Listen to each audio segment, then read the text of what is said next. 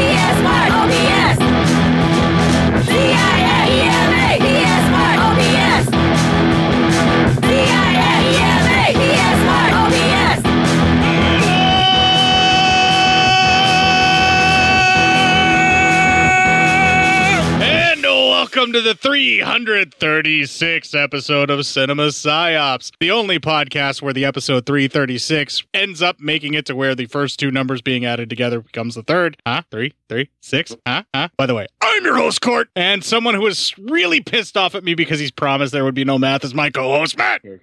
Let's see. Carry that by three. Three plus three is six, dude. Hold on. I'll get it. I'll get it. I'm just working this out.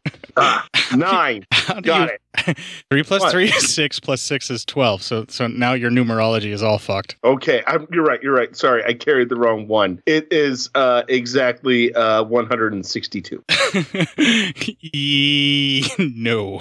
X equals Y. I don't know what the fuck we're doing around here. Will you help me out?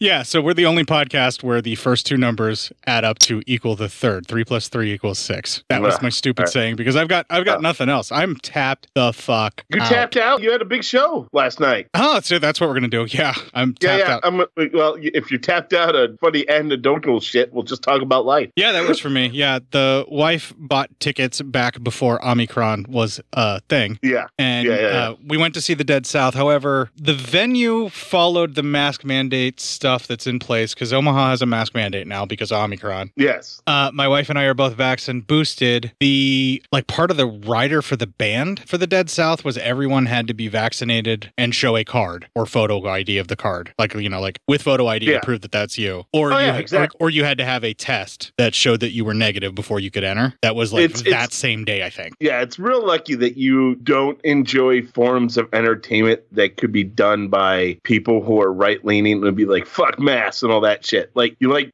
a group is that's probably going to be like, yeah, no, we want vaccinated people there. They, they got to be vaccinated, wear masks, all that kind of shit. Well, okay, so the Dead South, of the band, are Canadian, so Okay. I, I I would assume that they are more hopefully better educated than Americans. So Not, there are nutty Canadians too, but I'm just, you know, I'm, I'm, I'm right, right, you're not wrong. It's but- almost a safe bet that if you're going, you and your wife are going to a show and it's your wife who bought the tickets, the band is fairly, fairly going to be at least reasonable in, in, in looking the science and, and realize, hey, vaccines and mask work. Yeah, but you're more than likely going to meet a Canadian that is um, more well educated, more taken care of, and much healthier and happier than any single American who makes under a hundred thousand dollars a year. They probably would have gotten your math joke. So uh, I I didn't get it, and now I'm going to take that as disrespect. I'm going to be passive aggressive for the rest of the fucking show. Because if you truly become tr- kind of aggressive at me, you know bad things can happen. Bad, bad things. Yeah, I, it's going to only be passive aggressive. Well, because that's all the Republicans do when you like do something that they think is, you know, w- whenever you say something scientific and uh, they don't want to like read or something, they don't actually get violent, violent to your face. They just get passive aggressive and then just start saying things like, I, I, I don't fucking even know. You've ridden them uh, from your life enough to where you don't have to worry about that. That's cool. Pretty much, yeah. I've hidden a, a, lot of assholes so that I've lost a lot of that shit. So, like, they'll tell you something else, like, "Oh, really? You think mass works? I bet you don't think people live on Mars." That that's something they believe. Uh, that Nazis live on Mars. I'm sorry, not No, Nazis. no, they're very clearly on the moon. Otherwise, that movie Iron Sky was lying to me. No, the, oh, no, that's true.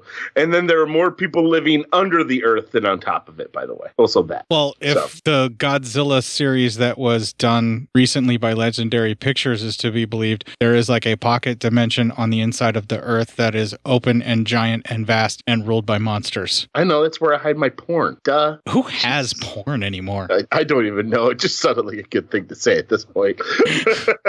How was the show though? So get get to the show part. Oh yeah, well the show was incredible. Uh, the Rainbow Excellent. Girls, the Rainbow Girls was the opening act, and uh, they were witty and charming and funny. And one of them, I swear to God, I thought looked exactly like Laraine Newman, like at her very first year in SNL. Oh, nice. Yeah. Okay. Yeah, and okay. I and I was like, I was like, That's, "Hol- that's such a random person to look like too. yeah. Well, I mean, like, like hair perfectly, like had Yeah. the baseball cap like Laraine would wear sometimes when like she was doing like you know segments where she was supposed to be a cast member or whatever, you know, to look a little more Yeah. on key because they always threw a ball cap on them for that. Yeah. and and just like you know, dressed relatively similar to how Laraine Newman would dress. So it like, I, I just was really bizarre because I'm like, I, I, yeah, I felt like this was just something that only I could see, and I pointed it out to my wife who immediately was like Laraine Newman, and I like told her like SNL, and I got her to picture her in her head, and then she saw it too. So, but uh, they they were more like stand up comedians who also played music and were amazing harmonizers. So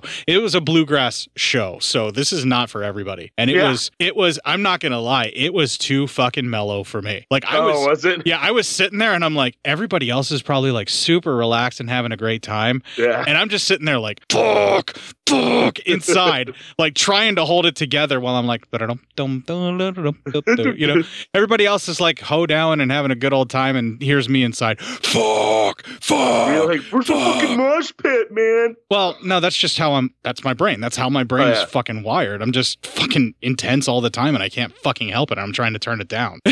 Yeah, uh, you uh, you need to you need to get something on there. Yeah. Yeah, well, I need to do some crack about it, I guess. Yeah, well, I mean, I don't know if doing crack, but I don't think crack's going to help your internalized rage. I just, it might be the wrong drug. yeah, well, my default setting, you know, let's let's Yeah, let's yeah. let's crank this bitch up to eleven for Nigel Tuffington and see what happens. exactly. Yeah, true. no, but uh, yeah, but for me, it was it was definitely it was too mellow of a show. But like the musicianship was incredible. All of the Yeah. all of the harmonizations, and that's really if you're going to listen to bluegrass, you definitely want to listen to blu- bluegrass specifically for the harmonizations because that's what is really some of the best work. Um, Yeah. and obviously the Dead South has a little bit more of a uh, darker twinge to some of their songs, and that show actually inspired me. So we're going to bring it all the way back around to the actual show now, Matt. See how I Hey, did that? right. I'm Look at that. kind of back on my game a little bit. You kind of helped me get out of that funk. There we go. Uh, Professional.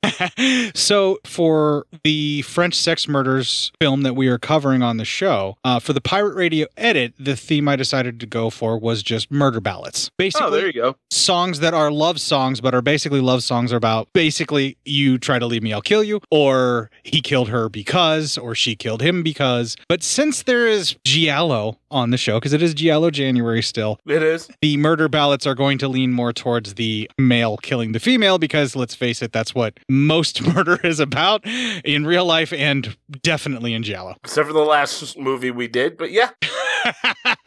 That's fair. There are plenty of female murderers as well, but this week Don't we be sexist. Right. Females can murder too. the victims are primarily female, as we will definitely see, and uh, they're going to be involving prostitution in this. So it's it ticks all the boxes, absolutely. But Yeah. I just wanted to kind of state that for this film specifically, the murder ballads are leaning more towards men killing women out of jealousy because that was the main idea that they think is what happens at the start of the film. And how that turns out, we won't necessarily get there, but that's where I'm going with the pirate radio edit. You dig? I dig. Can we just move on and do the show We- now? we can move the fuck on. We should Let's go. probably, yeah. Jesus fucking Christ, what the fuck is wrong with us? We've done enough pablum. All right, let's move on. This'll keep you quiet. Oh, hi there. I didn't see you. You call me cutting a new show. I'm Bo Ransdell, and I'm one of the many creators you can find on Legion Podcasts. I said quiet! My fellow podcasters and I work hard to bring you the best in horror podcasting, but that comes at a cost. Wouldst thou like to live deliciously? Not that, but also yes. No, what I'm getting at is that there are server costs, costs for good microphones and software for editing, all the things that make our shows, you know, fun to listen to. And you can help.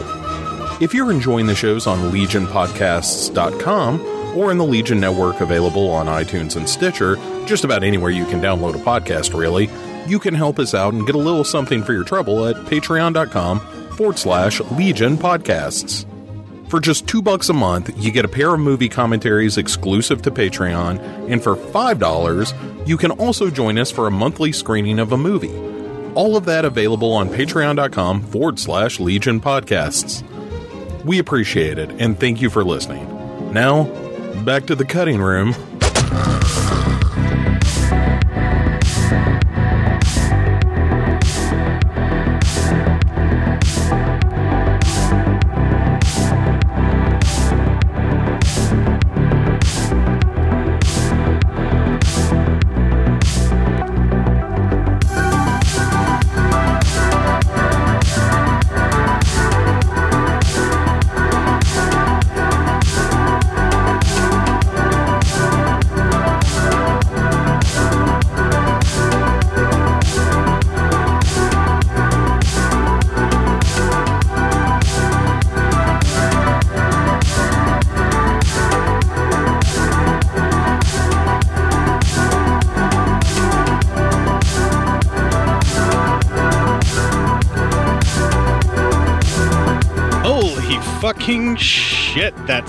Sounds so fucking dark if you have seen the French sex murders. That's very true.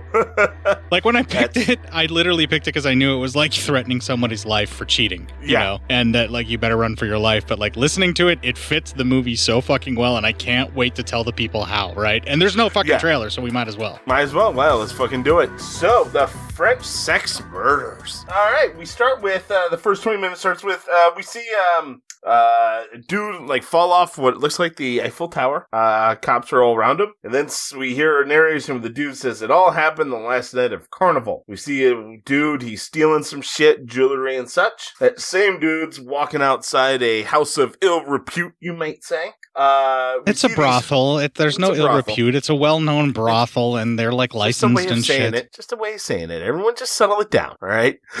It's the place where people go in hoods to sin real fucking good. Yeah, yeah. Whoa, so good. Looks like the kind of hip place that I could have gotten into when I was a single man. Yeah, it's a lot of it's a lot of sinning. Um. So, anywho, um. Uh, then also comes in all these hooded figures walk in as well. No one, the thief is in there. No one wants him there. They tell him he shouldn't even be there. Um. Then we cut to some tarot card reading. Um. And this guy who's sitting there with like the madam, they're doing tarot card reading. He's going to go on a fascinating journey. Uh, then um, one of the other girls who walks in and says the big men are in town, so you might want to you know get it going. And everyone's like, oh, let's get everyone going. Well, the madam meets with the thief. His name's Antoine, and he says he'll pay twice as much for a night with Francine, even though the madam doesn't want him there. She says fine, but this is his last time, and for Francine to hurry up because the hooded figure, big people, campus town folk, uh, they they they really want Francine in the room as well. Um, Antoine, he uh goes up. They're upstairs. Cut to Antoine and Francine in bed. He gives her all the jewelry he took. Uh, he says that you know it's fine, she can have it, but uh, he says that uh, if she takes it, then she is only his. Um, I may be wrong, but a uh, sex worker is probably the last person you should expect that kind of exclusivity from. Uh, there is something in this display that makes it feel like that gentleman is not necessarily in touch with reality he definitely is not in touch with reality. and has an expectation of what should be happening. And I believe that while a more experienced veteran in the sex work industry would recognize someone who is expecting more than they're willing to offer as part of the trade Mm-hmm. and would kind of help wean that client off and or move them along for their own safety and health. Yeah. But this particular sex worker, I believe, may be of a more inexperienced variety and has been stringing this guy along because she likes them jewels. She And likes can- that money Yeah, and and- she's letting him believe what he wants to believe. And you'd think the madam probably shouldn't have said yes to this guy, but he paid double, so she took it. So, well, Right. Which is um, kind of messed up. You it's- you know, if you know someone appears to be that kind of a danger, uh, The man clearly has a history of beating this girl whenever she disappoints him, and that's Yeah. why he was forbidden to be there. And yet they let him back in because he gives even more money, and then what's about to happen happens. Yeah. So anyway, then we cut back to uh, the group, and there's a guy. He's writing a book. This guy who's uh, with the madam. He's writing a book about like prostitution, and he's like, my American writer readers will eat this up. Did you Apparently, uh, apparently catch the American writer's women. name? Uh, no. The writer's name is Randall, which is a tribute to the producer of the film, Dick Randall, who is apparently an entrepreneur of sleaze and someone I should probably look at in their other film career. Yeah, uh, you probably really should. So Randall, the writer, he's like, "Why don't you want him here?" And she's like, "Well, he's actually starting to fall in love with Francine." Is what Madam said. Well, we cut to Francine and the dude are boning. Um, then the writer, he's talking to some of the ladies, and hey, that's our first clip. The research in my book is going to give the reading public the real insight. I'll have a shot at that. Can't miss, I tell you. In the States, the women are really fascinated on the subject of prostitution. They'll sneak the book home, and Madame Colette will become famous. You're lucky I let you gather material here. Madame Colette, who are the clients in the mask costumes? I can't tell you. In this profession, you don't tell those things. Oh, I see. How about calling Francine? I've got a couple of minutes to spare. Well, the group does call Francine down and tell her to come down, and so as she's starting to get up, Antoine flips out uh, because she's leaving and starts beating her. That's pretty hard to watch. Uh, the writer's kind of walking around downstairs. He sees Antoine leaving, and Antoine's looking all shifty while doing it. While Antoine's leaving, he runs into a police officer and runs away from him. The writer comes out holding some bloody jewelry, and he tells the madam that Francine's dead. They quickly empty out the clients, the hooded clients, you know, because because they're important. Uh, the cops get there to investigate the crime scene, and that's our next clip. That's exactly the way we found her. Mister, get her off to the morgue. Yes, sir. The last person with her was Antoine Gonzalez. You sure, Mr. Randall? I am. Seems cut and dried. Mistral, Yes, sir. I want you to check this address. He got Valleys. He was the girl's last customer. Yes. He was the last. No one was here. No one but us. Where were the others? Kiki and Alice. Both were preparing the sauna room. We have people that come at night and pay overtime for a sauna and a mas- massage. Massage. Oh, of course, a massage. Yeah. Mr. Randall, where do you figure in this operation? What else do you have to know? It was that maniac Antoine Gonzalez. He threatened her life before. That poor girl. If only I'd kept him out. Mistral. Mistral. I got that information. Get out an all points bulletin to bring in a suspected Antoine Gonzalez. He could be dangerous. Right, Chief. He's wanted for suspicion of murder. All right, so how much did that fucking guy look like Humphrey Bogart? Thanks, French Humphrey Bogart, right?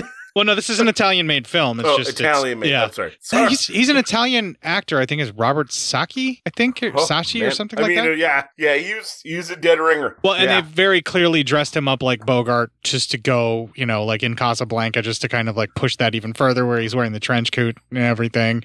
And uh, he played Humphrey Bogart like in a ton of fucking TV and stuff like that. But this is the first entry I could find, like the first acting that he did. And I think he got hired specifically because he's a Bogart lookalike to be in the film. And they wanted to have Bogart investigating sex crime murders. I, I, yeah, I guess. Jesus Christ. like sexualized murder. Like this is such a weird fucking movie already. We're not even the full 20 minutes in. We're like barely 5 fucking minutes in. We've had like a brutal beating and then a woman that's supposedly been murdered and then we're guessing that it's this guy and then all of a sudden this weird fucking Humphrey Bogart looking motherfucker comes walking in like so much so that you think they may have actually stolen footage of Humphrey Bogart and somehow put it in the film. Yeah, yeah, it was getting to that point. and then once you realize, no, that's just an Italian actor that looks a lot like Humphrey Bogart, you're like, fuck, I missed all that fucking dialogue, and you have to go back. Yeah, exactly. like, what the fuck is going on around here? This film at this point had me so far fucking off balance, Matt. I almost gave up and said, fuck it, I'll watch it tomorrow. Yeah, right? Like, I'll watch this later. Fuck this shit. right? I was just like, what the fuck is going on?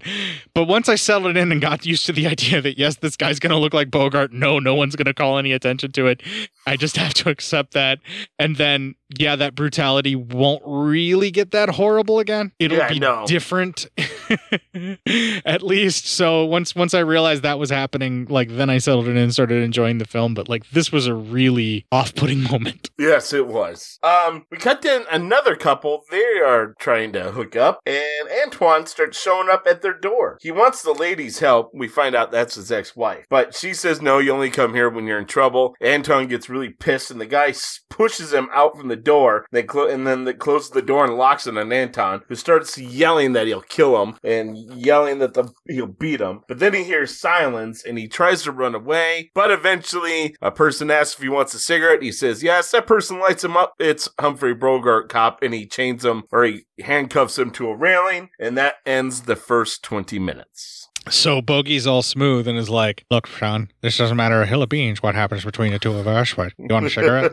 there you go. Have yourself a smoke, kid. Play it again, Sam. Maybe you feel a little bit better about yourself after you have a cigarette. Mm.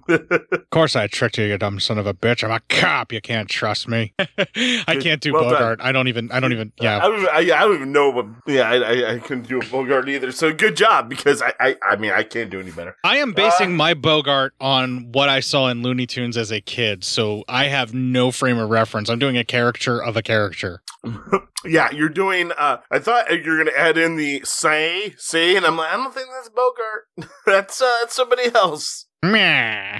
Yeah, Nah, no, see? no, that's Edward G. Robertson. I Yeah, think. I think. I don't. Hey, see? Fuck if I know. But like, okay, we, we got to get over the fact that Humphrey Bogart's in this film, but we can't. Yeah. Because it's not Humphrey Bogart. It's our. It's not. Yeah. it's like if we ever cover those movies of that dude that looks like Charles Bronson the entire time, we're gonna be like, this just no, it just Yeah. it's not Bronson. It just doesn't feel right. Yeah, this this guy looks like uh yeah, Charles Bronson. But he's not Charles Bronson. My sister's the same, but she's not the same. There's a Oh. Roseanne reference for somebody out there that might have got that. One Yeah, person there you go. got that, and whoever that is, I'd like to hear from you.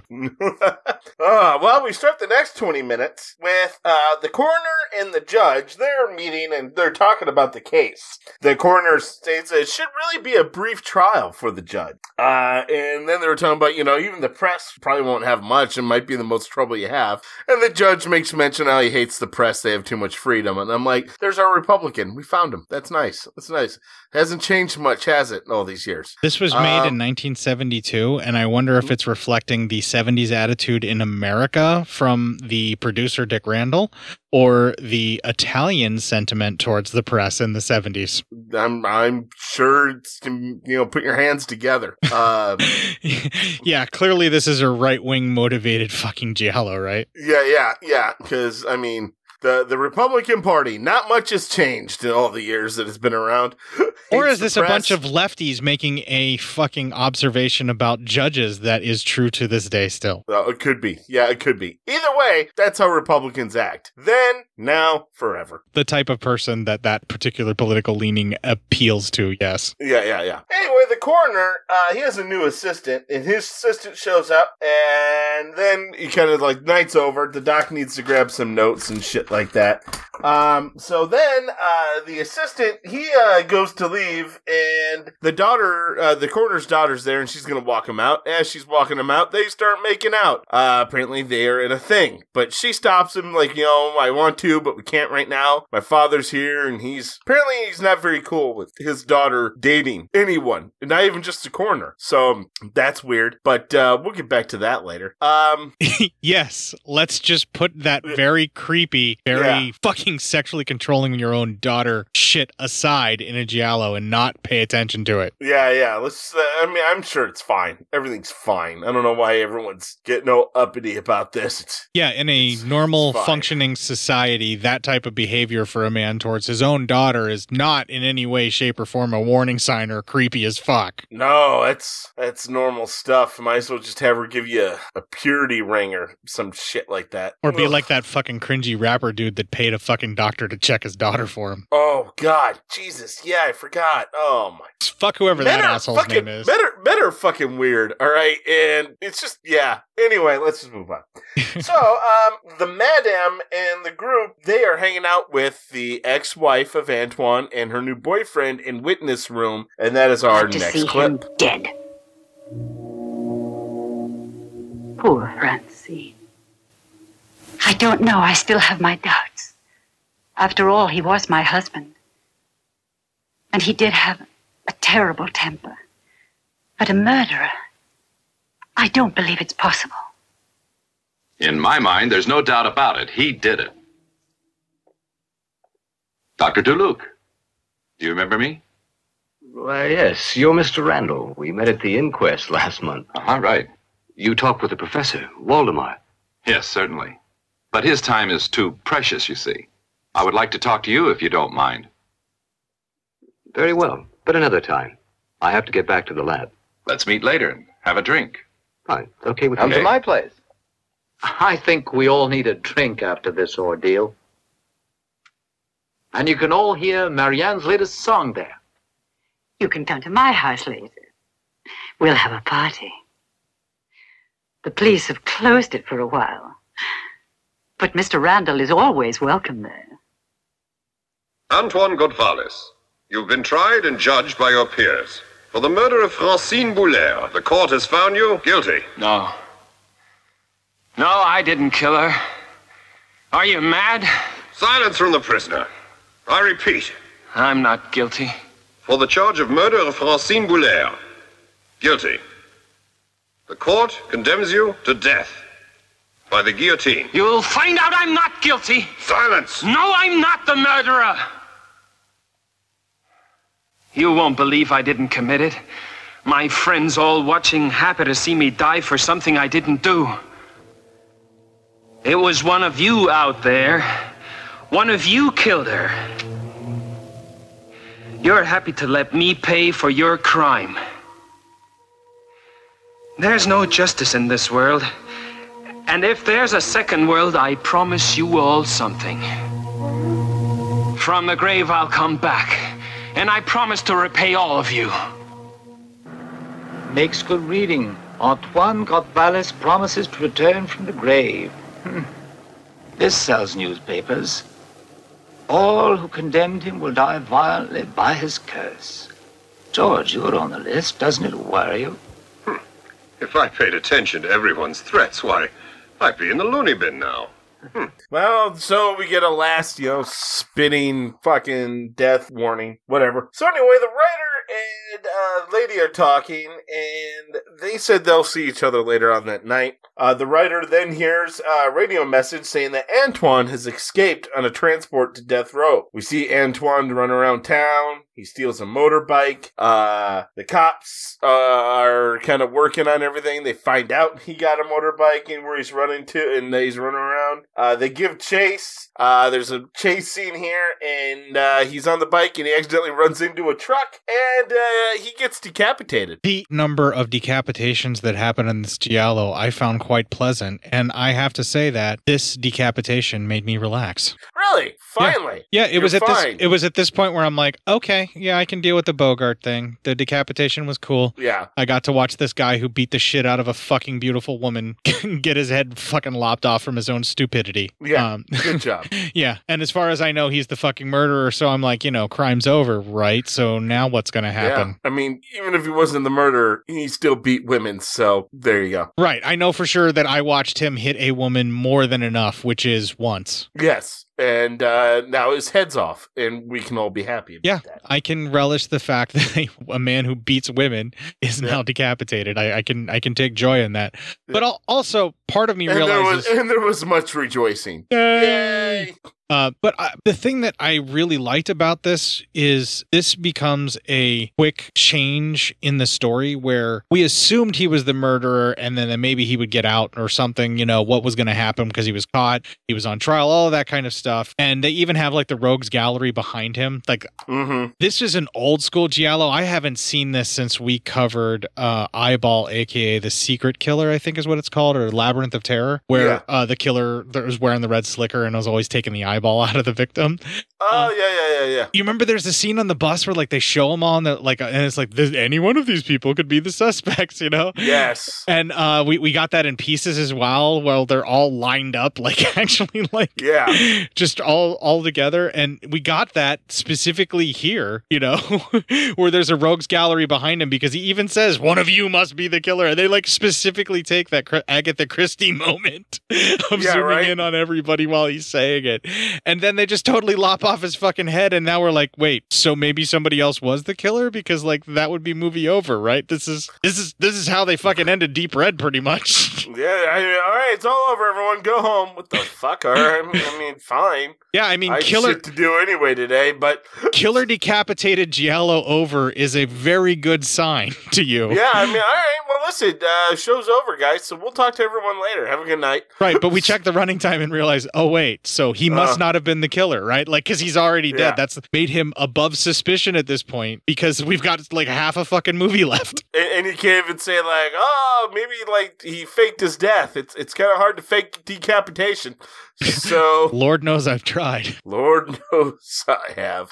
Uh, so. Anywho, so then we cut to his ex. She's singing in a club. Uh, the ex's kind of dude boyfriend is hanging out at the club, and uh, he's watching this other lady. And this guy's kind of really drunk and getting handsy, getting real fucking forceful with the lady, who is not appreciative of it. She does not want this happening. Um, all the while the lady's singing, she's kind of seeing this happen, you know, and and the guy gets up and says, "Yeah, you've just had too much to drink." Kind of manhandles the guy a little bit, and then says, "Get him out of here." But no markings on him because you know he'll spend money again. But the guy, he's like, "You, yeah, uh, you're drunk, and that's why you're doing this." Instead of you know, you should just be throwing him out of the fucking place. But whatever. His lady, she ain't too happy about this because she thinks that like shit's going on between him and that girl. Anyway, the detective shows up and he kind of talks to the two, especially the ex-wife, and he's like, "I'm not solid that Antoine was the actual murderer." Uh, he goes, "It's still some things I want to check out," and the ex-wife's like, "I, you know, she has that feeling like I don't believe he was a murderer," and uh, or you know whatever shit she wants to say. Cut to the uh, doctor is talking to the the coroner. He's talking to the judge. He wants Anton's head uh, to be able to study from it, and the judge even allows him to have it. He's like, "Yeah, sure. What the fuck? Uh, go ahead, take it. Uh, get the fuck out of here." And That's so completely a normal request to ask for the head of a recently deceased perpetuator of fucking crime.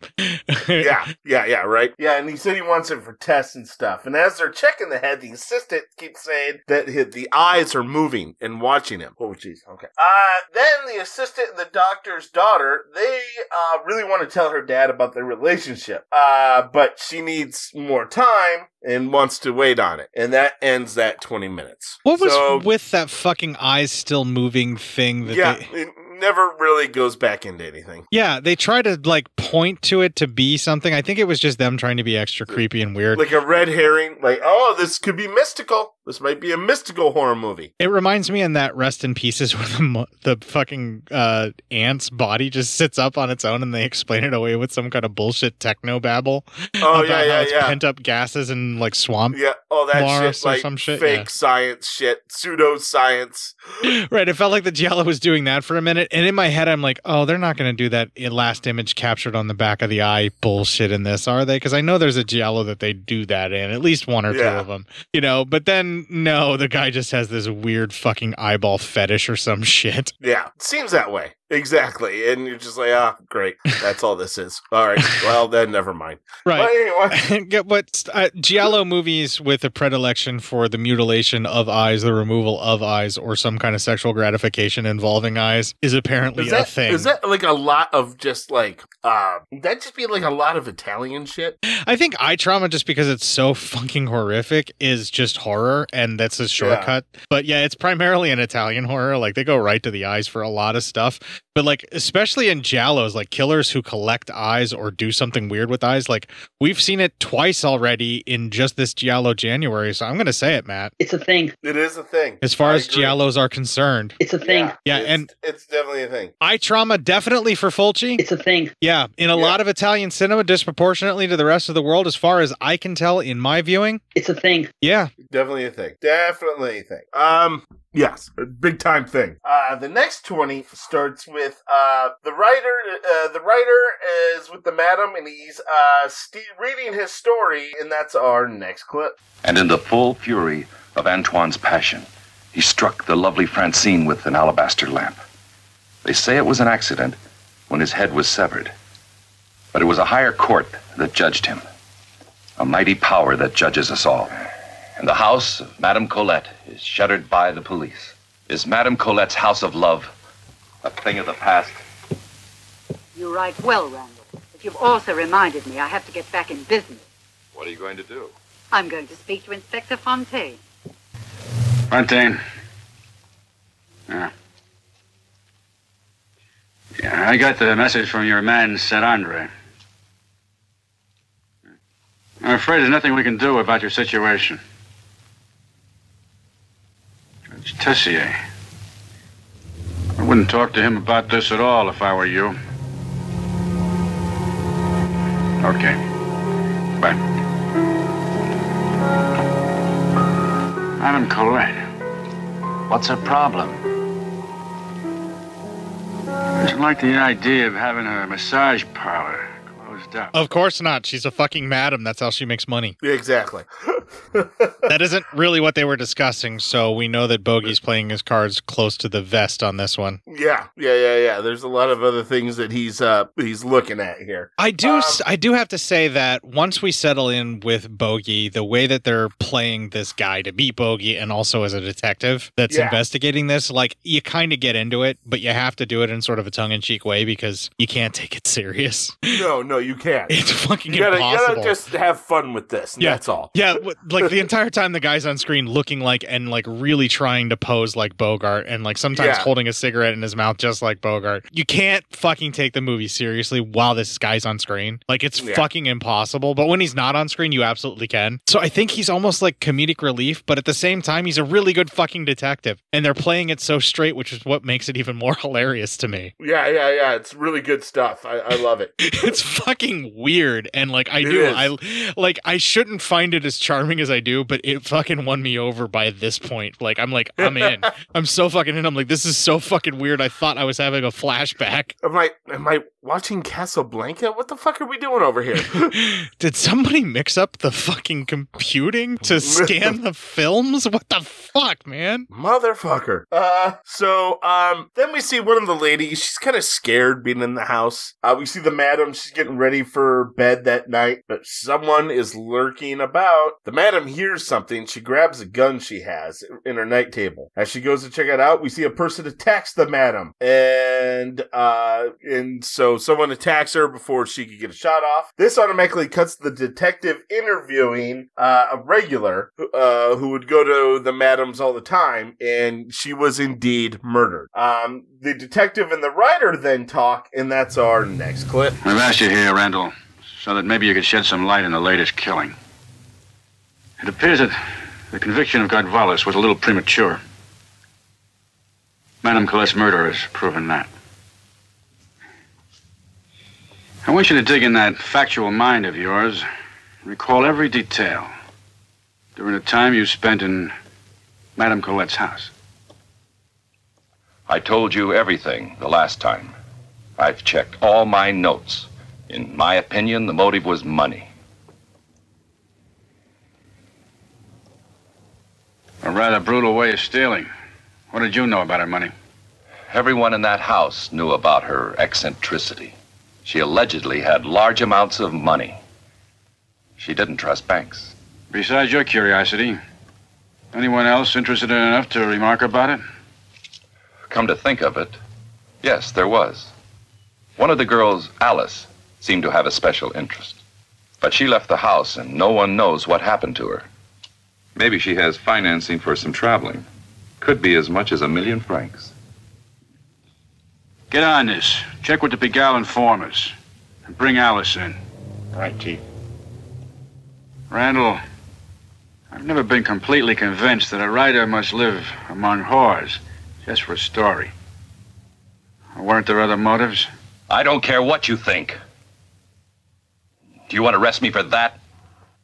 Get out. Ooh bogey's had enough Yeah, he wasn't happy about that guy. Um, then we cut to uh, the judge and the coroner. They're playing ch- uh, chess and they're talking, and they're talking about reopening. Uh, the judge is talking about going through the investigation of Antoine. Uh, obviously, they they all know now that Antoine's murderer ain't around. So, or Antoine wasn't the murderer. He he you know, so they're having to find. He's going to go through all the documents, and that actually makes the assistant look somewhat not happy. Uh, very disturbed looking. The assistant was. Well, then the judge has a dizzy spell, and the uh, the uh, you know he feels better, but the coroner has the assistant take him home. Uh, when they get back to his place, the assistant was very interested in the judge's home. Well, anyway, uh, the doctor he's checking out an eyeball, and uh, then he uh, later on he's talking to his daughter, and he's like, you know, I just want to make sure you know my assistant and no one else is bothering you. I don't want you to be bothered. And she's like, yeah, no one's bothering me. He goes, all right, I just noticed the assistant's around a lot. He goes, I don't want him bothering you. And she's like, no, no, he's not. And he's like, oh yeah, all right. Can we just decode some shit here real quick? Yeah. All right. First of all, the eyeball stuff was super gross when he was carving it up. It was an actual eyeball that they were kind of dissecting and making jelly shoot out of, and was pretty, really disgusting actually to, to watch. Yeah. Uh, It was we, not, it was yeah. not adorable. No, it was not not fun to watch him tinker around with that thing.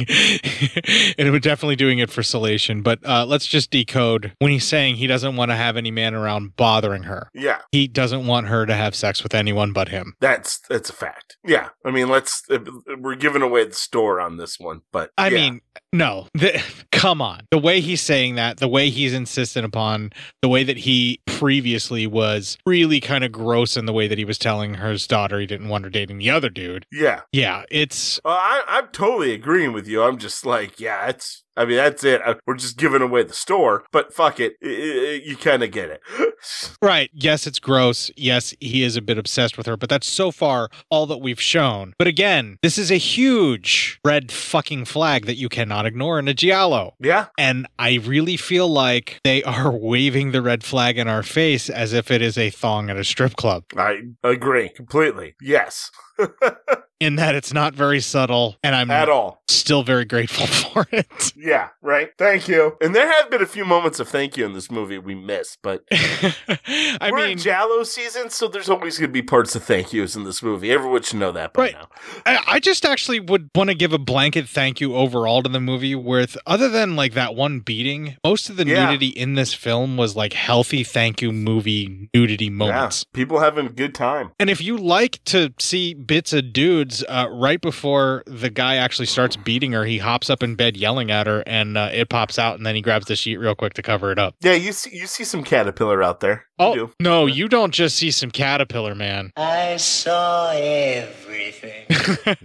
Oh, motherfucker, you had it on a big screen. Yeah, yeah. And there's a couple of sequences too where some of the ladies are rolling around in bed and uh, the film catches it all and the transfer shows it on the projection screen and I saw everything. Good guy. Good, good man. Good yeah. job. So just a blanket overall statement for the film. Thank you, movie, for a lot of that stuff because you really like for a Giallo, like I said, except for the beating that that does happen, most of the nudity, if not all of the nudity that's in the film, was pretty healthy for the most part that I remember. And I was I want to comment on that because it was a shocking moment for me Yeah. to realize that. And I think I came to that realization when the doctor creeped me out. So it's really interesting that we brought it up again here because that's where it hit you. Yeah, yeah, right? Yeah.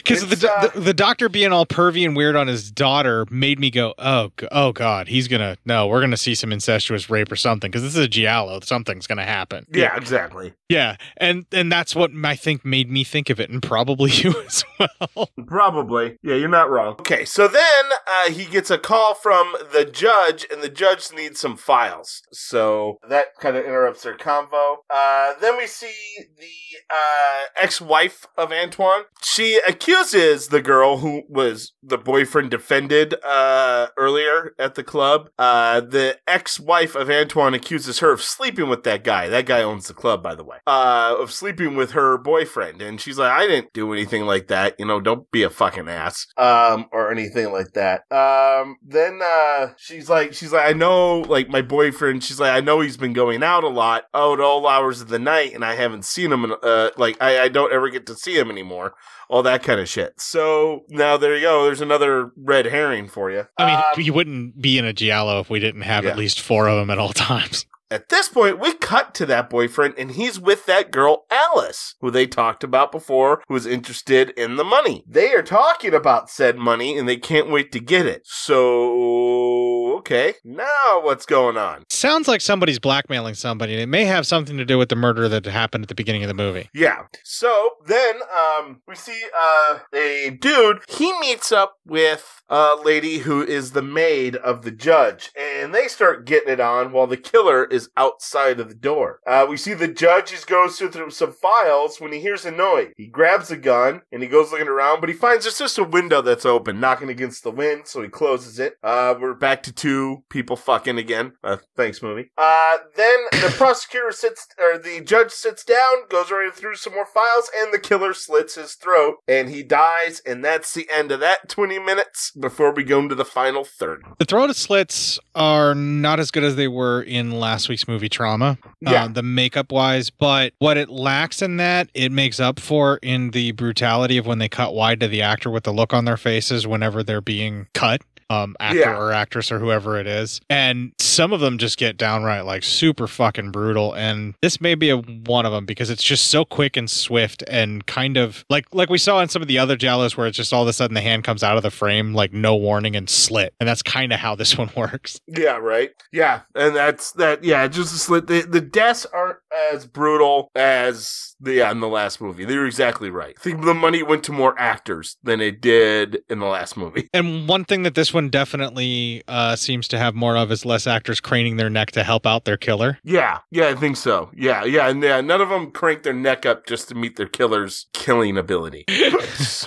right, but we're I mean I'm not trying to compare them. I just you know where that was last week's, this is this week's, and they both had razor slashes to throats. So Yes. I mean, that's- although I think from what I see from Giallos, a lot of this is just uh, people who are like, "Fuck it, uh, just slit their throats constantly." That's what we do. yeah, razor slashes and giallos. It's a thing. Yeah, especially It's, it's a thing. Yeah. it's definitely a thing. throat slashes with razors in Italian cinema in general. It's a thing. Yeah. It's definitely a thing. Yeah, slitting the throats the the best way to kill them in, in Italian cinema.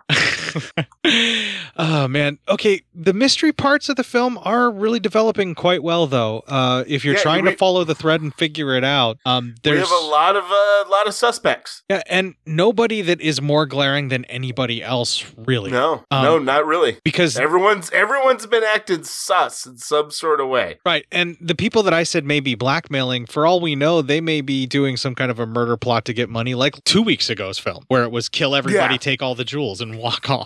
Exactly, and then just get the fuck out of there. Yeah. I mean, like, it's uh, a very bizarre kind of way about the film where we don't really know what's going on. We're just seeing the brutal slayings. And so far, it's just everybody that's connected to the night of the original slaying for the prostitute. And some parts of us wonder if it's even revenge, like if the wife is killing these other folks, the ex wife. Yeah, these are all all the murders are people who were told they were going to be murdered. There was going to be vengeance rained upon them. Yeah, all of the So- victims, yeah, uh, are so far, and uh, it seems to be coming true. And now we're wondering who would perpetrate such a thing, and Yeah. and why. Like there, that's the thing that we have to try and figure out. Yes, that is exactly right. Um, all right, well, the final thirty. Let's get down into it. Yeah, let's fucking finish this off and figure out who our actual killer is. the doctor's daughter wakes up kind of looks like she had a nightmare uh the doctor comes in he's like hey um, what's what's what's wrong everything all right and she's like i had she says she had a dream that you know someone they cared about got really hurt uh, or murdered and they're experiencing pain uh just then the doc gets a call about the judge and that the judge is dead um so then we cut to the cop or detective the writer and the doctor and they're all talking in our next clip Why Tessier was murdered. To make Gottvalles' prediction come true. Then, according to that professor, there's still Pepe and Marianne on the list. And you, Randall, you're on a list. That is, if we're to believe the curse of Antoine's and the possibility of taking revenge post-mortem. I see your point. Inspector Fontaine, there must be a link between these strange murders. They're beyond comprehension. Yes, very difficult to explain it. It's a literary case without precedent. That's why I'm fascinated by it. And the story will make me very famous. It must be a coincidence. The murderer is clever, but he won't escape justice. Well, if I read correctly, I understand that you have two suspects in custody. Morning News said that you've arrested Doris, Tessier's maid, and her lover. Well, he's only an accomplice. He's not strong enough to have done it, you see. He took our man. Yes. Mike. Mike, her lover. Huh. That makes sense. A coincidence, not a curse. Well, gentlemen, I must be on my way. Goodbye. Bye, Professor. Bye. Well, if you don't need me anymore, Inspector, I'll be going. Uh-uh. No. Goodbye. Uh, just a moment.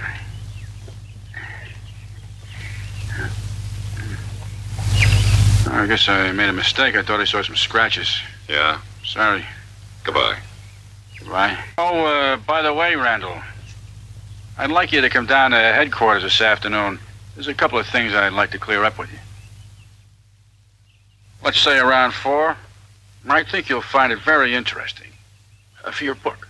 Okay. What the fuck? Yeah, so now everyone's thinking maybe it's the the judge's maid and her boyfriend. Um, so the uh, so then uh, after a while they question they release the guy who was there with Margaret, the maid. The the detective releases him, and as he leaves, the detective goes, "I just don't think it was him. I think he's clean because you could tell the killer was right-handed, and this." Homeboy apparently seems to be more left-handed. Um, then the detective calls to speak with the ex-wife of Antoine, but she is not at the club. Well, the cops decide to go looking for her. They bust in on her uh on her place there, and they find Alice murdered and the boyfriend murdered. So there go two more suspects. The assistant and the doctor's daughter. Uh, they are talking, and she's just trying to make him see that her dad's very old fashioned, and that you know there's a reason why he you know she she doesn't want him to catch them. And they have a moment where they start kissing, and the doctor unfortunately walks in on him.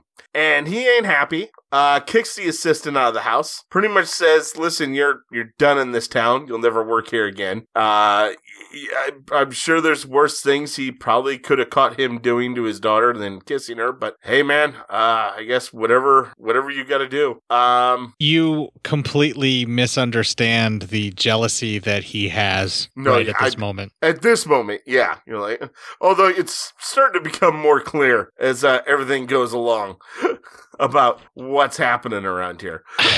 Fuck it. Those of us who have um, had a girlfriend whose father was creepy like this at one point in time, they're both dead. It doesn't matter. Uh, okay. not because of me, I swear. Uh, No, yeah.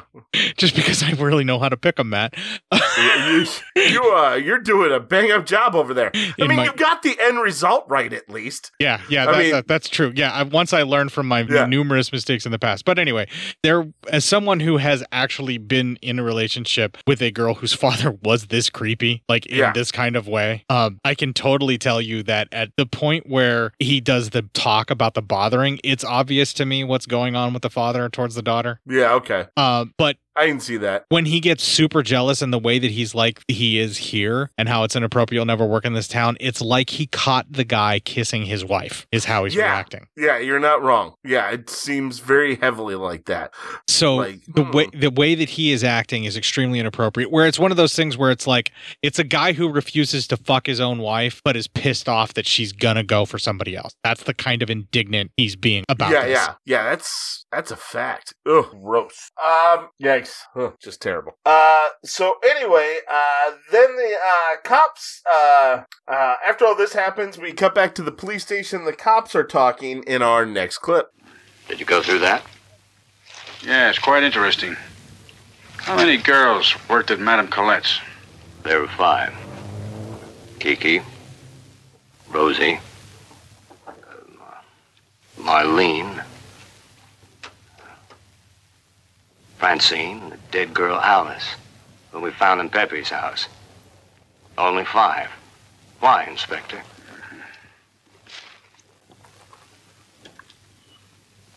I count six. Randall has written about another.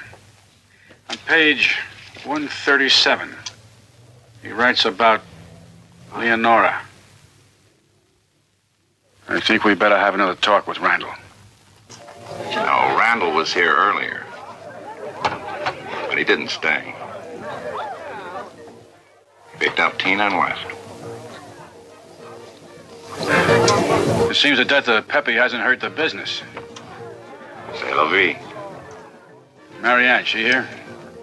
Mm-mm. Haven't seen her tonight. Hey, bartender. Wish. Gotta go to work. Doctor, I'd like to have a word with you. Don't want to talk about anything with you. Well, you can decide to talk here or in my office. Take your choice. Well, Inspector, I propose it here. Were you ever a client of Madame Colette? Me? You're kidding. You happen to be the only one I know who's been in love with Leonora. What are you talking about? I came here looking for Randall to find out why he mentions her name in his manuscript. I think that there are other Leonoras in the world. I agree.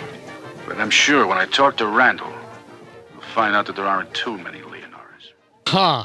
Yeah. Hmm. Well, cut to that writer and Tina. They are making out and they're going at it, and we see somebody's trying to break into the place, like using almost jewelry thieves type stuff. You know, cutting the window and shit like that. Jewelry So- thief or like spy who loved me, you know. Yeah, all that type of stuff. But still, It's extremely intricate tool work for glass cutting that whoever is doing this has. Yes, exactly. Then the uh somebody comes to the door and we see it's the ex-wife of Antoine. She comes in and the writer says, "You know, excuse me, I'll get a get us a drink." And that woman talks to Tina. Now we find out this Tina, this was the girl who was getting roughed up who the ex-wife thought that her her boyfriend was sleeping with. And so she apologizes to her, says she, you know, she found out that it was actually Alice who, you know, the boyfriend was boning and not her. And now he's dead and she doesn't know what she's to do. And, um, the writer comes in, he's like, hey, you know what? We'll, we'll figure stuff out. But, uh, you know, I gotta, I gotta, I got something to take care of. And he and Tina go into the room and start, you know, getting ready to bone because they got to take care of some business. Um,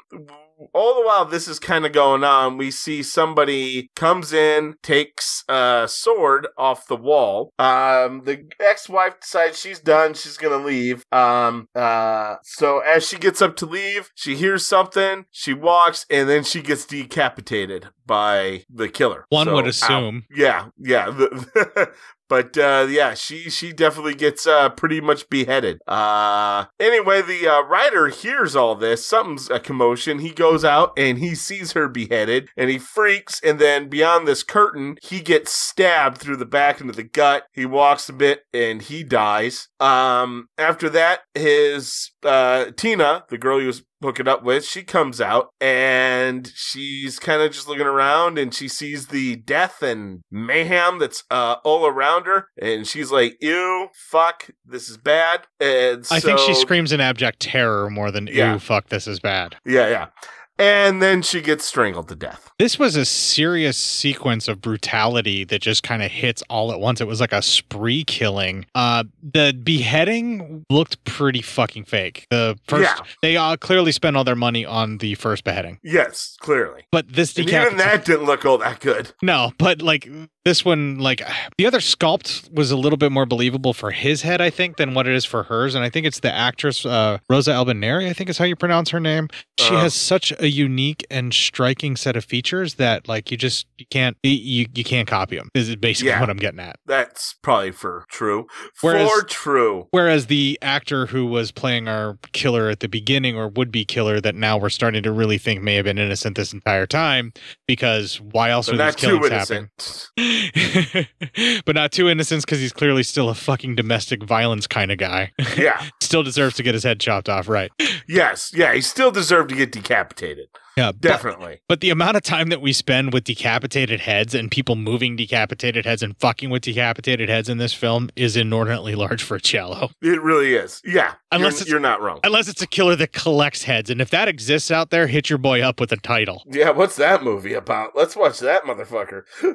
And don't tell me Dario Argento's trauma. I already have that. yeah, don't be weird. So anyway, the police come in, they find the scene, and it's just all death and destruction. Um, then, uh, the, as the cop detective looks around, he sees that um, our writer has drawn the letter M in his own blood, and so now he believes that it might be Martin. He says Martin, and he gets a flashback though of the doctor talking about a boyfriend named Mike for uh for the housemaid, and not Martin. So now he's like, maybe there was a second boyfriend, and so he runs up, and the cop pays her a visit. She's again getting down with Martin, but she stops and she's, "Oh, I'll get Martin." He goes, "No, no, no. I want to know about your other boyfriend, Mike. I was told about a Mike. Uh, the doctor told me." And she goes, she says that she only calls him Mike when they are having sex. That's just what she calls him when they have sex. Everyone has a pet name. It's not even weird. Stop kink shaming people. Oh, well, I wasn't even bothering to learn his real name because, like, Yeah. all, all his name matters to me is whenever she's banging him and she can call him whatever the fuck she wants. That's true. Uh, as she explains more, he now starts starts to realize that M is a W. Well, we Didn't we see back- this when Mr. Burns got shot, Matt? I, I think so, something like that. Yeah. Uh, just then, the daughter she comes in to check on her dear old dad, and he has a really fucking rabid look on his face, and she's like, "Dad," and he starts trying to well have sex with her. He's trying to rape her, and she's like, "No, please don't." Luckily, her boyfriend shows in. He runs in, he breaks it up, and that turns into our final clip. A case like you should be considered psychopathological. How would you classify yourself? You depraved, filthy pig. You were jealous of anyone who got near your daughter. And every time you visited Madame Colette's for girls, in reality, they all were Leonora to you. Hold it. I said hold it.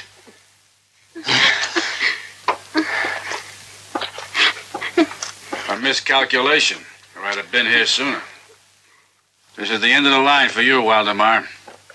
Before dying, Randall managed to write in his own blood the letter M. But it was a W that he wrote to identify you, Waldemar. You and Tessier were Madame Colette's VIP clients. You know where we found this mask? In Judge Tessier's house. I'm sure we'll find the other one. Somewhere in your house. Francine was your first victim. Holy shit. We get a flashback where we see that after Antoine leaves after beating the girl, a hooded figure goes up, and the hooded figure is, of course, the good doctor. He keeps calling her by her da- his daughter's name and saying, "Are you all right? Are you all right?" And she flips, tells him to get away from her, and she's like, "No amount of money's gonna make me love you or anything." And he flips and kills her, and you know, so we see that's what begins this whole process. Uh, This it doc- makes her death even more fucking disgusting because after being Yeah. beaten by one John, this other guy creeps up on her to try and use it as an excuse to make her into his daughter so he can finally fuck his daughter. And then when she rejects him and fucking talks down to him and belittles him, he beats her to death with a fucking lamp. Yeah, It's yeah, fucking horrific. much. Yeah, it's horrific. It's sad. Uh, you know, this poor girl. She's she didn't. Poor lady didn't deserve any of this kind of shit, and uh, she's trying to make a living in the world. And she had one ultra possessive, abusive dude, and then one dude who wanted to bone his daughter. So she got the worst of humanity right there in front of her. And again, as I had said earlier, had she been more experienced, she may have been able to talk some of these psychopathic assholes down at least a little bit to where she could get someone to Yeah. assist removing them from her life. But unfortunately, it doesn't seem like that was the case. And given how emotional she was after what just happened, of course, what that creepy old fuck tried to pull on her would upset her and have her yelling at him. Yes, Um, of course. it's fucking disgusting and it's very realistic how her death actually happened. It feels like an episode of like true crime. It really does. Or Like, like- something you'd see on Dateline. yeah, well no no the, the storyline for the HBO series True Crime where like they uncover the murder and this is how Oh, it turns okay. out. Like it's always It also so seems like it'd be real enough to be on Dateline. Yeah, yeah, like where you f- you hear about this where like it turns out, you know, DNA reveals that the murderer all along was this guy. Yeah, yeah, exactly. And then you find out that like, you know, years later he tried to rape his own daughter cuz he's fucked up. You know. Oh, Jesus. because he finally just fucking lost his shit. He couldn't control himself anymore. It's Yeah. uh, when this movie lays this stuff on you, it makes all the stuff that you watched earlier in the film have an even more sinister tone. So a rewatch of this is going to be even more dark Yeah. for sure once this gets laid on you because it just like it just throws it at you and it's like oh and by the way and you're like holy fuck because now you got to think about it the next time you watch it Yeah, exactly. Ugh, God damn, it can't just be a murder mystery. Now it's all this shit too. Well, that's how Giallo works. They got to throw something like that in. And it backloaded the back half of this movie with all of this Giallo stuff. I know we're almost there, so let's just finish it off and then we'll, we'll dig in even further. But this big reveal and then this flashback that shows you what really happened after he left after beating her with the- Yeah. the, death and the murder and how this triggered the whole thing. And the way they just kind of unwinded all at you at once, you do kind of have to stop and talk about it because holy fuck, it's everything at once. And how all these other people now, besides her, are all dead because Antoine made the the the death threat. So instead of uh, when the uh, judge was going to reopen the files, he was like, "Oh, I got to kill everyone associated now because that's what Anton said he would do, would make everyone think it was the curse." right. And also that way he's covering up what it is that he did because once the judge really starts looking into it, he's going to be more sus. Yeah, yeah, exactly. Well, uh, the doctor does run away. There's a manhunt, a chase ensues, and then we kind of cut back to what we saw at the beginning of the movie. He climbs the Eiffel Tower. They follow him. He falls off and dies. We see he had Antoine's eyeball with him, or at least some eyeball with him. I don't know whose. I do know that Tina, the girl who was strangled, uh, you know, with the writer and the ex-wife, she had her eyes removed, so that's not good. Um, Yeah, it's either hers or originally Anton's, Yeah. but for whatever reason, yeah, carrying eyeballs he you. an eyeball with him. Yeah. And uh, roll credits. This ticks so many boxes of just making sure that it covers various aspects of things that show up in Giallo that this is unarguably a Giallo to me. This is definitely a Giallo. Yeah. As far as Giallo January goes, this might be the most Giallo Giallo that we've had this January. It might be the most Giallo of the Giallos we had. And I thought beating last week's was going to be hard. Beating what last week? Be- beat, uh, beating beating the movie last week was Oh, oh yeah, being more Gialli than last week's movie. Yeah, Yeah. I could kind of see that because yeah, it was a horrible Hitchcock ripoff that turned out to be quite an endearing film that leaves you not able to stop thinking about it. Uh, yeah, this is absolutely one hundred percent, unarguably the most Gialli that we've had so far. Uh, it goes into every direction that you were kind of expecting it to go. Thankfully, uh, we have no completed sexual assaults or nor sexual assaults that are dwelt upon like we saw in last week's film. Um, so that definitely was a bonus. However, the creepy dad trying to rape his daughter definitely covered the woman abuser and uh, not just you know physically abusive but also like he views women as his property. Um yeah, and also plying plying with goods to trade for the person that he viewed as his property. Yeah, yeah yeah. Yeah they're not just they're not a person. They're and that shows that he only believes that they're only there you know not as a person to enrich themselves but just to enrich him. Unfortunately, that's the way that a lot of men view women, as if uh, they are an extension of their watch or suit that they Yeah. are wearing as an accessory. You are correct. and uh those guys they are fucking assholes No one is arguing that point. The perverse characters, the obsessive male character that we have in this one that that does frequent in Gialli that that would be prone to violence for those types of outbursts and outrages and things. Uh, this weird like sex cult thing going on that's involved with the brothel that's clearly like folks in the town that are just being whisked away back and forth because you know they're they're allowed to be kept secret because they're prominent figures. Uh, Yeah. like that is there and then kind of ignored as far as the thread goes where not even the investigators look into that all that much you know? But then it turns out that it was fucking one of them and it makes sense whenever the film reveals a you know goes back and shows you what really happened you know? In the room after the guy fled. Yeah yeah right? Yeah. Jesus christ. It was, it- and, you know, and usually that kind of cheat bugs me because I hate when we get like a piece of information that's been hidden this whole time that we don't get. But in fact, the way that they made it appear, because this happened later on in the same room, this is the kind of cheat that works for me where it's like, hey, you didn't have this information because nobody investigating this at any point had this information until now. You know, Yeah. that that this is how we confirm who the killer was, but the killer was there afterwards. And while the guy is a woman beating piece of shit who ended up getting put on trial for this, he was not the actual one who killed her. You know, so yeah the way that they did that is is actually like one of the ploys that I like in a mystery when they're giving me information that I did not have. But like telling me that, you know, like, oh, I did, you know, I got this file from uh this, you know, place sent over just from, you know, another country like they'll do sometimes in Agatha Christie with Poirot where all of a sudden he has information just handed to him and he just like, ah, that confirms my suspicion the entire time. And he goes in this huge diatribe and you're yeah like yeah you're like, okay, well, that file came from fucking nowhere. So, like, of course I can't fucking figure it out from that. how was i supposed to know you had all the info and didn't share any of it with me Right. And being a fan of mysteries means that you constantly butt up against something like that at all times. And I gotta say, what you and I have been doing with the Giallos, where we're actually focusing in on the mystery part of it and seeing how the mystery functions, like we started doing before, even we did this Giallo January, like that is my favorite way that we're covering it. And I gotta say, the mystery in this holds up, kept my intrigue, and while I was suspecting the the doctor the entire time because he was making me cringy. I had no other means or anything like that to go on.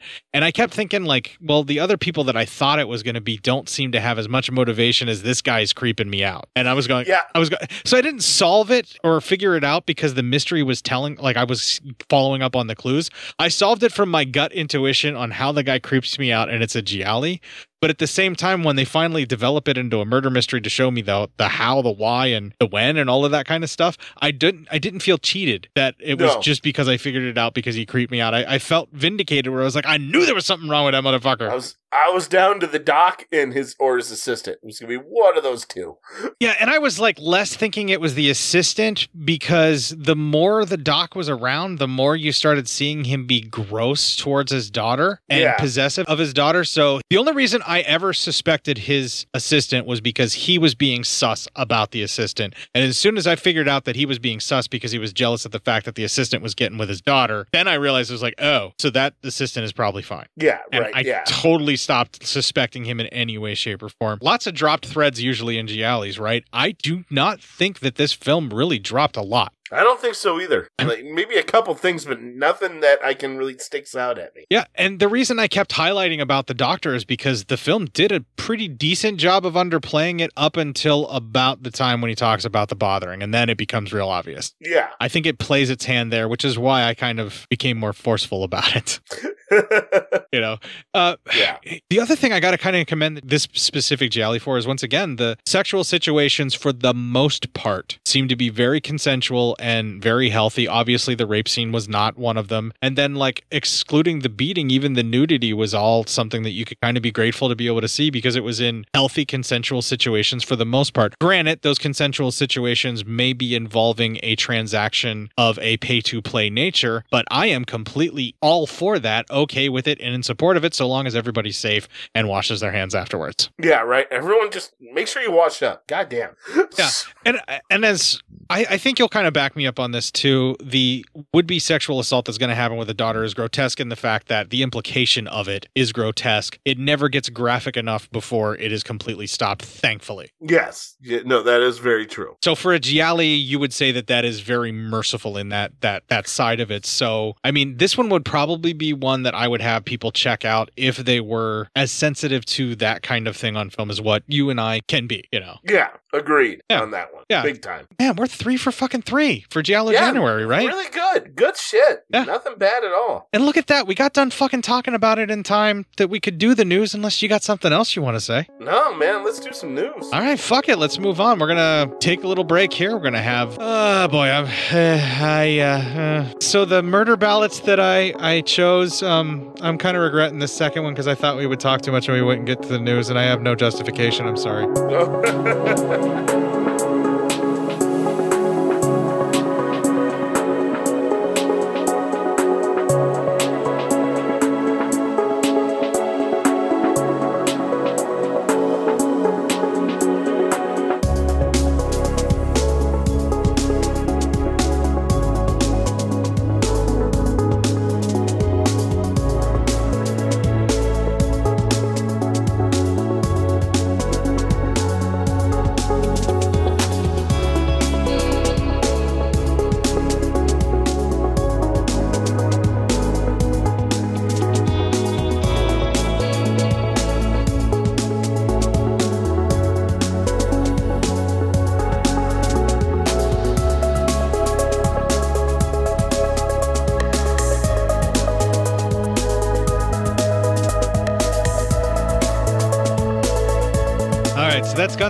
N' With uh, "Used to Love Her," and uh, like I said, I'm kind of regretting some of the choices that I've made here on the Pirate Radio edit because after discussing the film and it being um, kind of misogynistic and grotesque as some of the actions were in the film, uh, it's amplified that much more after discussing it by playing "Used to Love Her" by Guns N' Roses. It's a, it's a bit on the nose too for the actual movie. Just saying. well, that was my thing. I wanted to be on the nose with it because I like being on the nose with the references, but like this is a bit much even for me. Like I'm I'm shocked and outraged at myself in that I am not going to change it in any way, shape, or form. but let's just stop discussing this fucking cock rock anthem and let's get some Psyop news.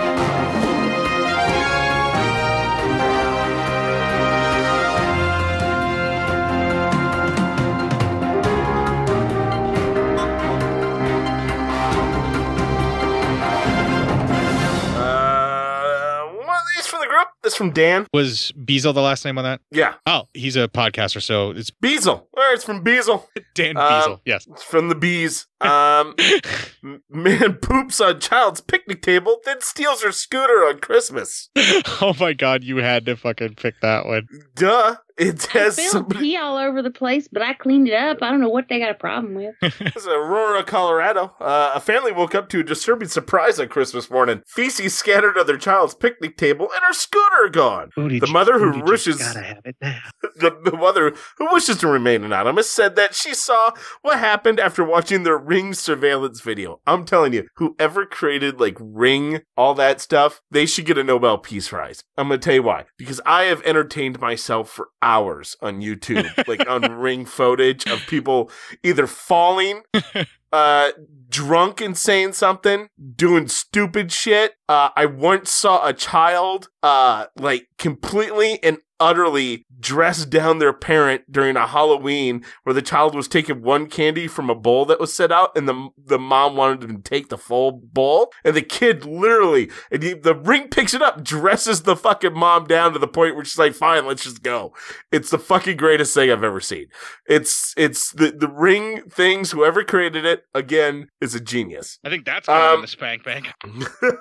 Weird Uh, response, bro. yeah right uh Hey, bro, I can't she get states that her girls were laying in bed way past bedtime, waiting to hear Santa and his reindeer land on the roof. Then the five year old went outside the next morning and saw it. She instantly told me not to worry. It had been uh, it had been the reindeer that pooped. It had to have been one of the reindeer that pooped outside. My Wow, asshole good. actually sweat.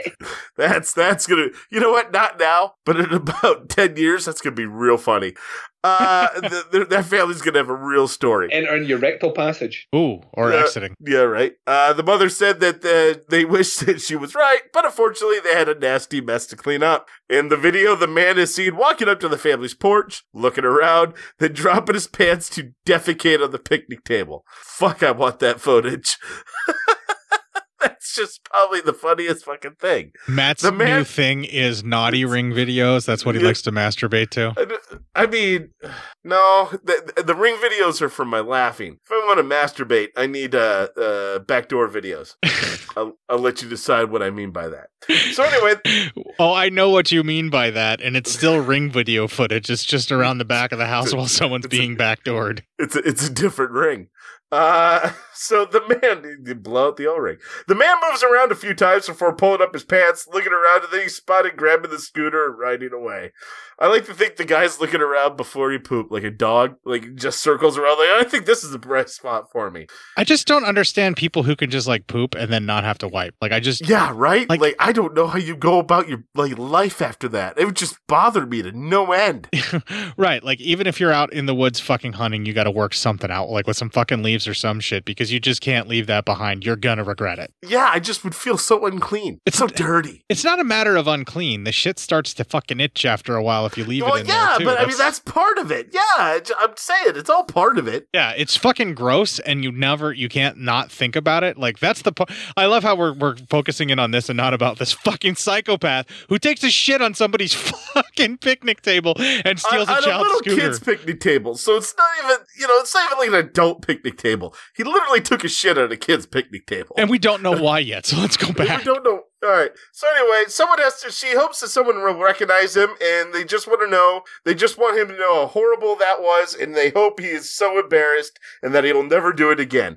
Listen, um, ma'am, if a person's at the point in their life where on Christmas Eve, they are outside and they are generally taking shits, and the one place where they find a shit isn't even in the yard. It's on a obvious little kid's picnic table. The um the embarrassment, as you put it, they don't feel that feeling. That feeling isn't there. There's no shame. There's no embarrassment anymore. That's not there. They have they have left and they have graduated into another level that you don't know. It's ma'am, you don't know this level, and I, we hope you never find out because you never want to get to this level. But they're at the shitting in random backyards in mysterious places level at life, and there's no such thing as embarrassment here. There's no more fucking shame or embarrassment. that he To him, he's living his best life. Now, he needs help, but I'm just telling you what the score is. This guy, he probably read this news story and he laughed his balls off. All right. And then he did whatever substance he did that made him shit in that backyard of that kid's table, only to go out and find a weirder place to take a shit. Yeah, that guy is like Nick Sax from Happy level of fucked to be able Yeah. to just wander up onto somebody's porch and take a shit on a kid's fucking picnic table. I thought this was a vindictive thing. Like I thought there was a reason for it. Is that the end? Yeah, the end. Is, yeah, that is pretty much the end. The only end is a neighbor found the scooter down the street and returned it. So they didn't catch the guy. I don't think it's a vindictive thing. I think this is a gentleman who has, uh, for lack of a better term, you might say, is almost at rock bottom, and uh, he's he's living his life in that sense. He is at the level of I get fucked up. Never mind. He's at the level where he gets fucked up and he will shit on people's picnic tables and in weird places and then steal an item to try to make an escape before he gets down to the end of the street and realizes, you know, a kid's scooter's the worst fucking way to try to make a getaway and probably his asshole was itchy. So it was time to go home. Yeah, this guy is in a different level of fucking dark. Like he's living in the sweet spot, as we like to call it here at Cinema Yeah. Psyops. That that place where you haven't hit rock bottom enough to really stop enough to regret all of the choices that you've made. Yet you totally are also not going to stop because you're going to continue doing whatever destructive behavior you're living in. That's pretty much the sweet spot. that is that is right where he's at. so yeah, I'm just like I hope he's embarrassed. Yeah, yeah. Maybe maybe someday, years down the road, if he lives and he gets goes through like some sort of cleanup and sobriety, yeah, he might be embarrassed. Definitely, definitely, he'll feel it then. Yeah, when he's in a 12 step program and he is Yeah. talking about the things that he has done, he's going to tell the story about how when he was fucked up, At he his lowest point. Yeah, not even at his lowest point. Like But- he's like, we. I hope this is his lowest point. Maybe this is what causes him to get help. But but he's like when I was near the lowest. yeah, if this is not your low, taking a shit on a kid's picnic table on somebody's porch on Uh, the way- Christmas Eve is not your Christmas Eve. Lowest point. In Colorado. Uh, you know, I want to know what the tip was that night because you think it, you'd be shitting icicles at that point. Right. Like, like- if if that is not your low point, I I do not want to know what your low point actually is because that would be my low point. It would imagine. I would imagine it would be like he's pushing out like fudgesicles that have been left in the back of the freezer for like six months. Well, that's uh, entirely disgusting and the point at which I'm going to end the show on. So, good night, everybody. Here's the Ending Legion promo. If you enjoyed this show, then make sure you check out the other great shows on the Legion Podcast Network, like Cinema Psyops, Cinema Beef, Devour the Podcast, Duncan and Bo Come Correct, Exploding Heads Horror Movie Podcast, Friday the 13th, Get Slayed, The Helming Power Hour, Hello, This is the Doom Show, Hero Hero Go Show, Kill the Cast, Underwater Kaiju from Outer Space, Jerry Hates Action, Legion After Dark, Mental Health, Obsessive Cinema, Discourse, Pick Six Movies, the podcast by The Cemetery, the podcast on Haunted Hill, the Psychosemantic podcast, Rick Radio, House of Wax, Dude Looks Like the 80s, Rabbit and Red Radio, The Shadecast, Short Bus Cinema, Two Drink Minimum Commentaries, The VD Clinic, Who Will Survive Horror Podcast, and Which versus the Doomsday Clock. With such a wide spread of shows, there is guaranteed to be a niche for you to fall in love with. Horror, politics, movies, books, sex, music, commentaries, health, video games, kaiju, action, news, comedy, and opinions that would most likely get you killed in some parts of the world. We are proud to bring you some of the best podcasting in the world. Check us out at www.legionpodcast.com, iTunes, Spotify, Stitcher, YouTube, and any other dark corner of the internet where podcasts can be found.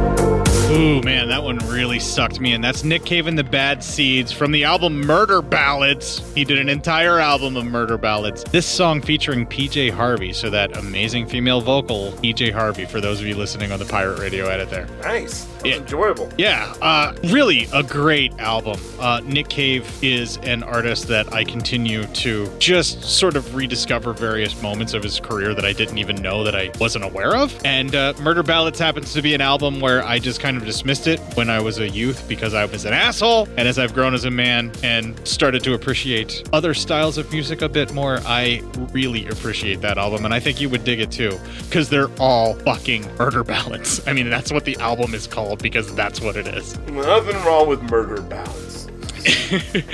if you would like to find the other instances where it sure sounds like I'm trying to sell you something because of how enthusiastic I get about shit on this show, the best place to find that, all previous 335 instances of me doing that, legionpodcast.com forward slash cinema dash psyops dash podcast. Just let him be excited, people. He's not trying to sell you anything. He's he's excited. Be nice to him. I have so little joy in my life that when I actually find something that I can recognize gives me hope and or joy, I fixate on it. It's a mental health issue. I'm working on it. Yeah, yeah. I mean, of course. If you'd like to find something that I do purposely to try to bring more joy into the world, well, the best place to find that is our Instagram, cinema underscore psyops, where I try to share a meme thrice daily to make you laugh. Yeah, of course. I mean, all the memes are out there just for you people to laugh at. He's not trying to sell you anything. So if you see Snicker bars memes, that's just a coincidence. Snickers isn't paying us. Jesus, I wish I could get that kind of fucking money. Fuck. Right? I mean, shit. I mean, I'm not saying I wouldn't fucking sell out. If you would like to fucking have me sell out, you could tweet at me about how to fucking sell out at Cort underscore psyop there. You want me to fucking sell shit? That's fine. Just give me the fucking money. Give me all the fucking money. The fucking world's over with anyway, so I might as well take all the fucking money. Yeah, man, a couple weeks, fucking everything's gonna pop off. So fuck it. Why not? Let's get some money. In the meantime, you can hunker down in our Facebook group with your fellow folks that seem to be noticing that the world's turning to shit out there. It's Cinema Psyops on Facebook, and Facebook is probably directly responsible for things turning to shit out there. And I, I am mean, it- Cort Psyops on Facebook. It definitely didn't help.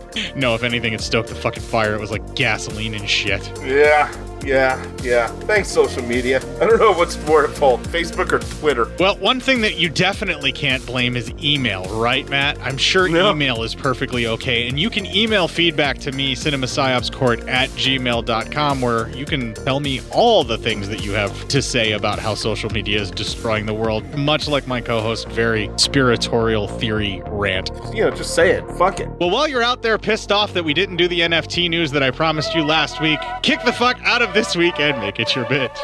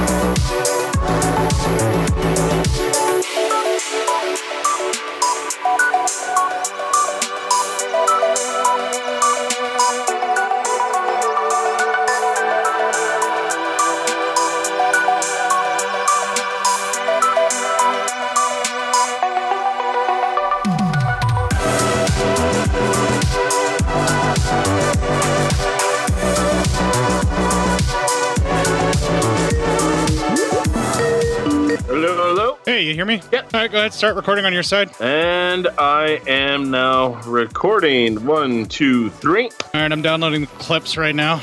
Not as many uh, empty spots with just um, subtitles as I thought. I guess that was just from what it said. It was the most complete version, which makes sense. But like, yeah. But like the parts that were inserted were just like additional pieces to a sentence, and it just feels like the uh, English language dub. They were just trying to tighten up the editing. Is all that it was. Could have been, yeah. Okay, the clips are all downloaded. Let me open the files and copy it over here real quick. so Mac has this, like Apple computers, they have this really stupid thing that they do where the favorites bar that they allow to the left, you you put a fucking folder in there and you can't drag stuff over to copy it to that folder in that favorites bar. It doesn't recognize it. That is stupid. But there's the thing is like if I click on it, if I do like a cut and paste, like if I do a you know control Apple command or whatever they fucking call it, it's stupid, but I just call it a control because it's all the fucking same. I know what button I have to hit. Yeah. but like the you know the control C, control V, control X, control V, that works if I click on it. Uh-huh. Which I think they're all about their key commands with Apple, but it's just a weird thing that they won't That let you so just weird. drag it over. You think that they would let you because that is so user friendly. I can do that shit with my fucking iPhone on the same panel. Yeah. That's just stupid. And you know me, I ain't down with Mac. Me and Max, we ain't down with, with none of that. We don't. I don't. I don't play that shit. You'll get them secured on a network if someone you work for has to have them. Otherwise, Yes. fuck off with that shit. That's that's pretty much exactly what my life is. Yeah. I think I'm gonna have to abandon ship on trying to get the network the way that I want it because I'm too much of a pleb, and I may have to have you come over and uh, help me set up that fucking router. All right, that's fine.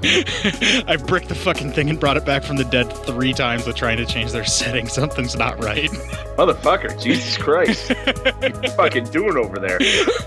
Mad science, bitch. That's right. Yeah, but I'm pretty sure Dr. Frankenstein didn't reboot the monster six different fucking times. Be a different movie, though. That'd be kind of interesting, actually. A rebootable yeah, right? monster. Yeah. Yeah. Trademark, Like, uh, trademark. trademark, trademark. Okay. Like, oh, shit. He killed another little girl by the water. All right, reboot him. We'll load up some other protocols. Well, that seems to be what Universal Studios thinks they can do with their monster franchises. Just keep rebooting it and trying another monster verse, but they fail miserably every time. It's what the WB thinks they can do with DC. Which is Warner Brothers in general. The actual WB uh, network or Yeah. CW or whatever the fuck it is now, Yeah. they're actually doing it right. Oh, okay. Well, yeah, when I say WB, I'm, yeah, I meant Warner Brothers for the movies.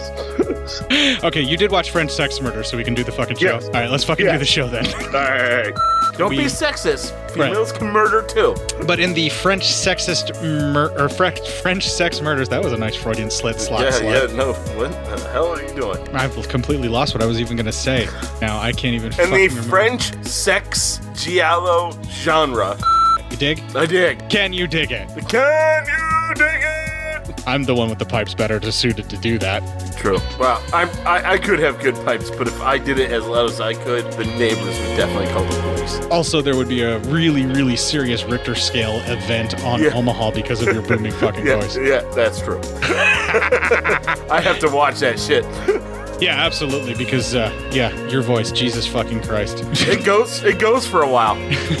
Sometimes we don't even have to plug in your mic. We've made that joke like a billion times. Can we just move on and do the show We, now? we can move the fuck on. Hey, just- real quick. I didn't see you. Yeah. There was a point where uh, I checked and I'm like, hey, uh, my waveform ain't going. I had the wrong microphone picked, and I had I said it right, so now it's right. Okay, so at the very beginning, we'll have to do Very Skype. beginning up. for like the first like ten minutes, maybe. Okay. If that. Ah, that's fine, and I'll throw that in later. So we'll right. just we'll go into the song. So three, two, one.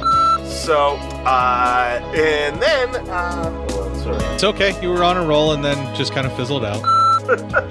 Uh, um, Uh, let's see here. Ba, ba, ba. Okay. Beat up the guy. Uh, accuses her of sleeping with Hello? the boyfriend. Hello? Can you hear me? Hello? Can you hear me?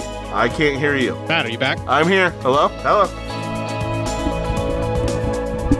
Hello? Hello? Hey, I lost you there. So you, Yeah. she got accused of something when the boyfriend left the club. Did you finish off that thought on your notes? Uh, yeah, yeah, yeah. I, uh, I, I, I could hear you the whole time. Don't know Oh. what happened there. Okay, well, just Um, pick up where you left off then, because I'm good now. Alright. Three, two, one.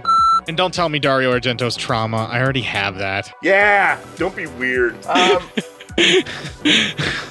Sometimes your reactions to that, where you're trying to like bounce off, are a little disproportionate. I don't know. Like, You're "Ah, like, flip yeah, some this one." movie I don't know the title of. Comment. Yeah, you dicks. Don't be so accosting to our audience. They love us enough to listen every fucking week. We owe them at least a little gratitude for it.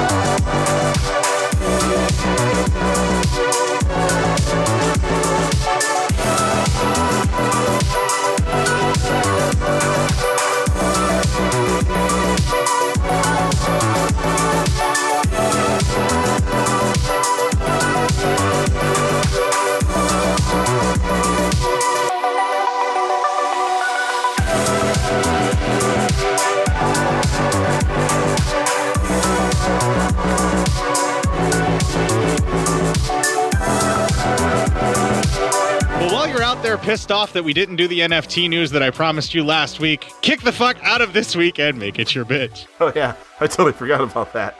Good one. All right, we got. I'm gonna put a note in. Remember NFT news. you still recording? I have finished recording now.